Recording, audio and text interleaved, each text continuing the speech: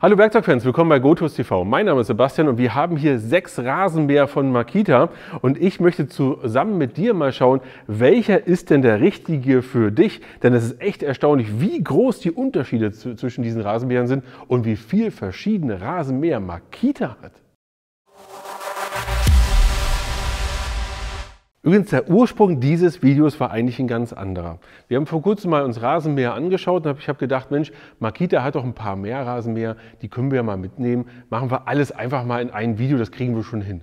Nee, kriegen wir nicht hin.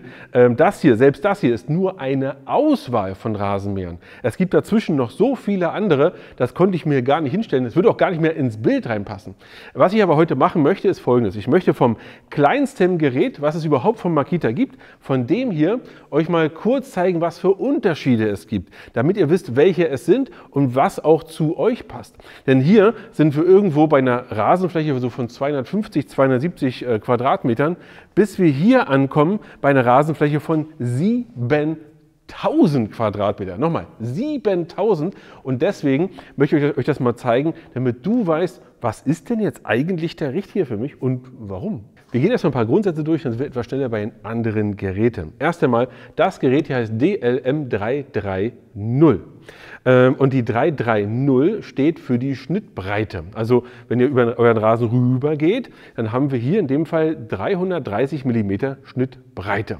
Und das ist bei allen Geräten so. Das heißt, wenn wir hier später zum Beispiel von einem 480, 534 und so weiter sprechen, 534 zum Beispiel sind 53,4 cm Schnittbreite. Ja? Ergo, bei den größeren Geräten kommen wir auch immer mehr zu einer höheren Schnittbreite. Ihr seid schneller fertig mit dem Mähen. Beim Gerät sind wir übrigens bei einem Preis von rund 165 Euro. Wie immer findest du alle Geräte und einem ehrlichen Preisvergleich. Dann das nächste Thema, diese Mäher können alle mähen und mulchen. Das ist erstmal Nummer eins. Nummer zwei, das Thema Akku, das ist immer hier oben. Ähm, wir haben da teilweise verschiedene Systeme, da komme ich aber gleich dazu. Jeweils, du drückst hier drauf, nimmst das Ganze nach oben, hast hier den Akku, kannst den rausnehmen, so, und hast hier deinen Sicherheitsschlüssel. Ja, den kannst du mitnehmen, damit nicht versehentlich deine Kinder ähm, den, das Gerät hier nehmen.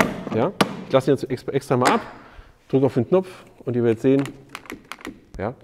Funktioniert nicht. Wir nehmen jetzt den Schlüssel, tun es wieder rein, weil einige kennen das nicht. Ja?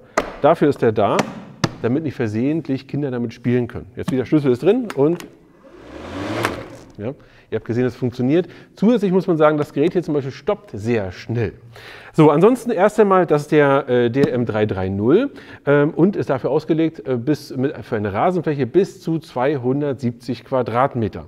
Und zwar äh, ist es so, die 270 Quadratmeter ist natürlich ein, ein, optimaler Zustand. Ergo, der Rasen ist nicht zu hoch, er ist nicht nass, ähm, ähm, ihr, ihr, habt alle gute Laune und so weiter und so fort. In der Regel werdet ihr Ergo etwas weniger als das mit, äh, mit ein, einem Schwung halt schaffen. Übrigens natürlich nicht mit nur einer Behälterleerung hier. Ja?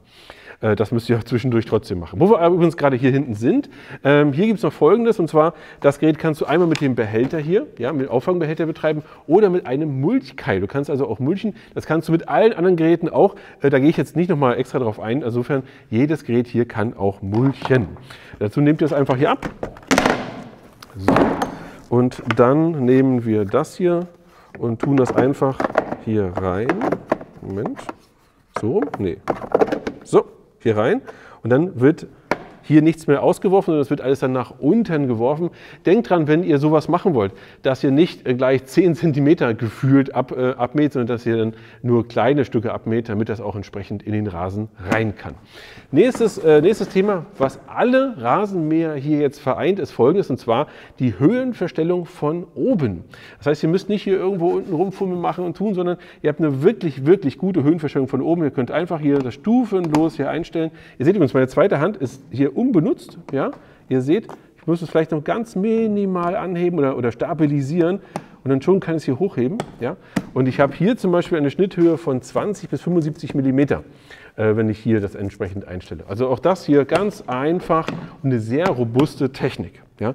Mehr gibt es zu diesem Mäher übrigens auch gar nicht zu sagen, außer äh, dass ihr eine Anzeige habt hier an der Seite, wo das angezeigt wird, also wo die, der, der, Ladestand angezeigt wird, das Problem, wenn es eins gibt. Ähm, und ansonsten äh, einfach hier drücken, ziehen, nee, drücken, ziehen und los geht's. Und schon kommen wir zum nächsten. Kommen wir zum DLM 432. Ergo, wir haben jetzt rund 430 mm, also 43 cm Schnittbreite. Das ist schon einiges mehr als der andere. Und ihr könnt jetzt ergo einen viel größeren Fortschritt in viel kürzerer Zeit erzielen.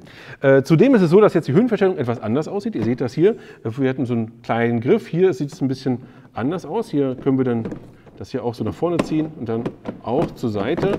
Sehr robust gemacht, auch hier an der Stelle. Äh, zusätzlich ist es so, dass wir jetzt allgemein merken, je höher wir von der Güteklasse der Geräte kommen, umso mehr Qualität haben wir auch. Zum Beispiel haben wir hier kugelgelagerte Räder, ähm, aber wir haben jetzt auch ein 36 Volt Gerät. Das heißt, vorher das Gerät war das erste und einzige Gerät, was du mit 18 Volt betreiben kannst. Jetzt bist du bei 36 Volt. Was heißt das? Du brauchst nicht mehr einen, sondern zwei Akkus. Ja? Also du hast hier Akku Nummer 1 und Akku Nummer 2. Wir können das auch mal ausprobieren. Wir machen nur einen Akku rein. So. Und schauen wir mal, ob wir das Gerät ankriegen. Ja, äh, das Gerät geht nicht an. Jetzt machen wir mal den zweiten Akku rein. So. Ja, ihr habt gesehen, mit zwei Akkus geht es dann, weil das ist ein 36 Volt Gerät und muss auch mit 36 Volt betrieben werden. Ergo 218 Volt Akkus zusammen 36 und dann geht es auch schon los. Wie gesagt, Unterschied ist, ihr habt eine größere Breite, kommt damit auch viel weiter. Ihr habt hier etwa so 500 Kubikmeter, schon sagen, Quadratmeter, die ihr damit mähen könnt. Beim Preis sind wir übrigens hier bei rund 180 Euro, das heißt gar nicht so viel mehr als der andere. Dafür bekommt ihr eine wesentlich höhere Schnittbreite, aber habt den Nachteil, dass ihr auch zwei Akkus immer braucht. Müsst ihr wissen, was euch lieber ist. Eine kleine Schnittbreite, 18 Volt oder hier Einstieg in 36 Volt System, zwei Akkus breiter schneiden. Jetzt merkt man, jetzt wird es richtig, boah, jetzt wird es amtlich, recht großes Gerät, 480 mm Schnittbreite, das ist der DLM 480. Das heißt 48 cm in der Breite, aber für euch von, der, von vorne, ja, das ist schon, das ist schon breit. Ja, das, das ist schon echt breit, ähm, was das Gerät hier kann. Was ist der Unterschied?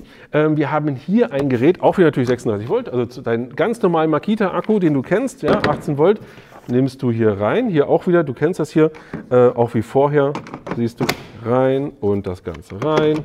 Ähm, du hast hier einen Schlüssel, so wie vorher auch. Klappe zu, fertig. Also im Grunde dasselbe wie auch schon beim ersten Meer. Hier vorne Akkus drin, aber zwei. Das Gerät hier aber hat den Vorteil, wir sind hier im Bereich bei rund 800 Quadratmetern, die du mit dem hier ähm, am, am Schnitt ähm, mähen kannst. Ja, darum geht es ja eigentlich. Ähm, selbst in ungünstigen Umständen kannst du wahrscheinlich so zwischen 500 und 600 äh, Quadratmeter immer mähen und das ist schon der Hammer.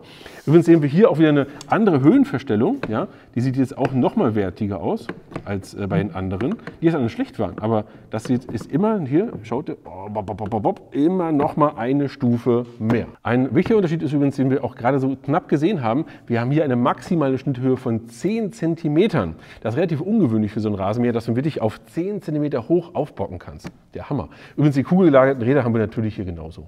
Hier haben wir natürlich aber auch schon einen anderen Preis. Wo wir vorher noch unter 200 Euro sind, sind wir hier knapp über 300 Euro, so im Bereich 300, 310 Euro. Nochmal der Hinweis und den ehrlichen Preisvergleich findet ihr unten in der Videobeschreibung. Einfach mal vorbeischauen.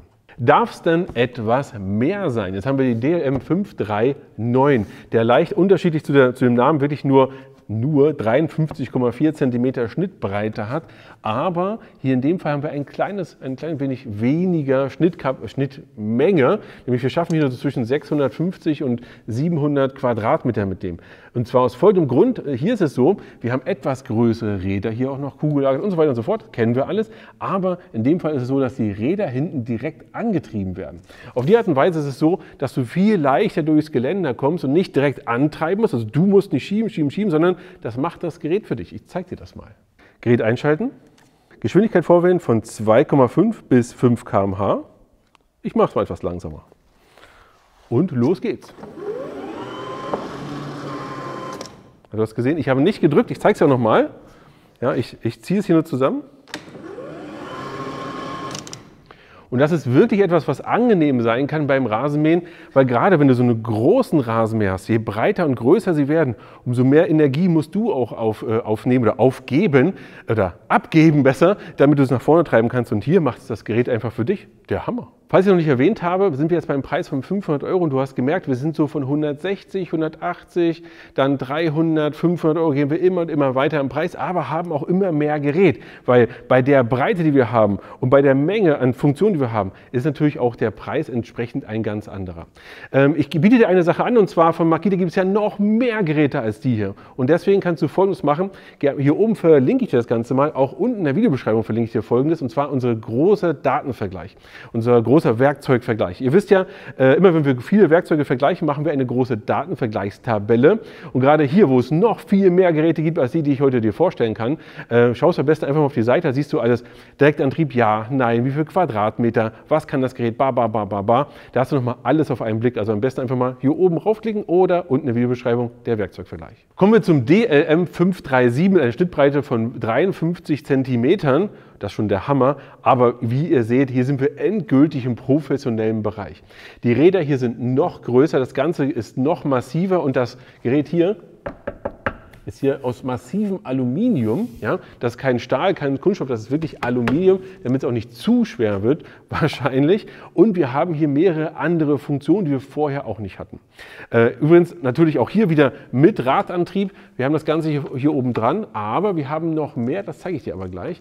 Wir haben jetzt aber noch eine Sonderfunktion, die wir vorher nicht hatten. Moment, ich muss mal kurz drehen. So, und zwar ist es hier so, wir haben nicht ein Akku, nicht zwei Akku, nicht drei Akku, sondern wir haben vier Akkus hier drin. Schaut mal hier.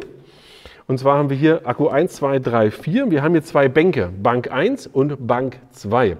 Das ist also äh, hier trotzdem ein 36 Volt Gerät, aber du kannst einfach sagen, Mensch, ähm, ich habe noch ein paar Akkus, die sind noch nicht mehr ganz so voll zum Beispiel, dann packst du die hier meinetwegen hier vorne rein und die vollen nach hinten, stellst hier das auf Bank 1 ein, hier, und dann fängt er an, beim Mähen zuerst die erste Bank hier leer zu machen und dann geht er zur zweiten über.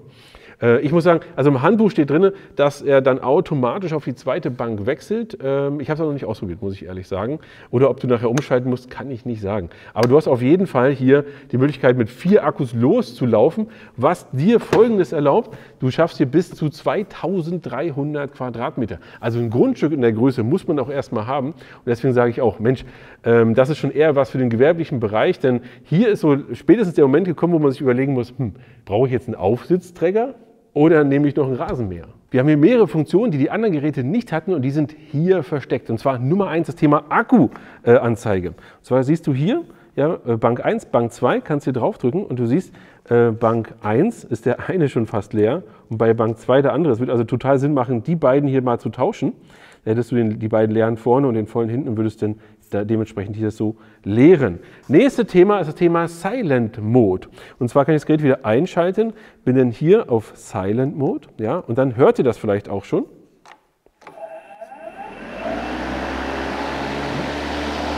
Und jetzt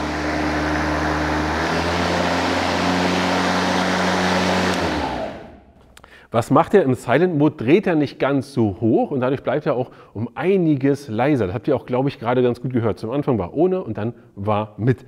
Kommen wir nochmal zum Thema Preis. Wir sind hier beim stolzen Preis von so um die 900 bis 1000 Euro. Das ist schon eine ganze Menge. Aber wer so viel Fläche hat, ich glaube, der wird dann auch dankbar sein für so einen guten Meer. Du willst mehr, du kriegst mehr. Der LM001C ist ein absolutes Monster. Ein Monster in jeglicher Hinsicht auch. Also erstmal, wir haben wieder unsere 53 cm Schnittbreite.